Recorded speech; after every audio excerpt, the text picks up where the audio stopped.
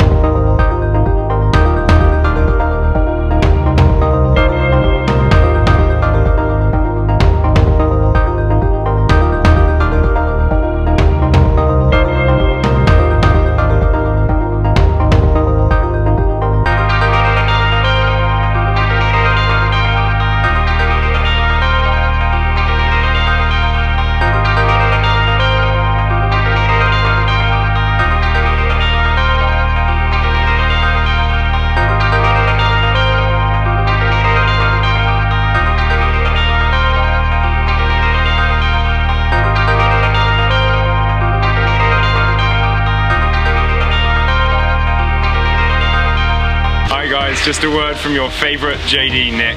I just want to say how much of an honour and a privilege it's been to have you guys in my city, in Oxford. It's been wonderful to welcome you all here for the last two weeks, in some cases four weeks. I really hope you guys take care in the future, use what you've learned at ORA, and I just want to thank you once again for making it a really, really special two weeks for me and all my team. So thank you from Nick, and take care guys. Hi guys, it's your actual favorite JD here.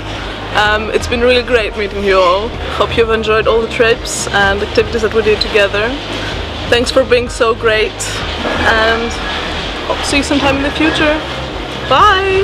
It's been a pleasure and an honour getting to know you guys and meeting so many different characters. And as you move forward with your lives, I wish you every success in the future. It's great to see all the friendships that you've managed to build over this last fortnight and also the talents that you've shared both in the talent show and also teaching one another to dance and things like that. It's been really good to see so much going on between you, so much engagement. I wish you well.